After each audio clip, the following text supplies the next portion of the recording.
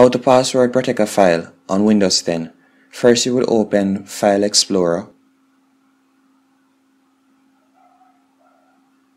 And then you would search for the file that you like to password protect. Then right, right click on it, click on Properties,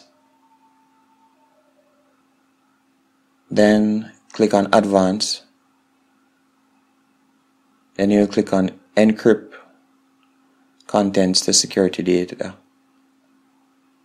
Then click on OK. And click on Apply. And you'll see this pop up. And you can apply changes to this folder only apply changes to this folder and subfolders and files. And click on OK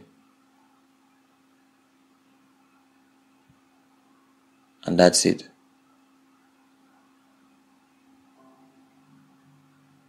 And you'll see it says to back up your file encrypted key. That's important also to save the encrypted key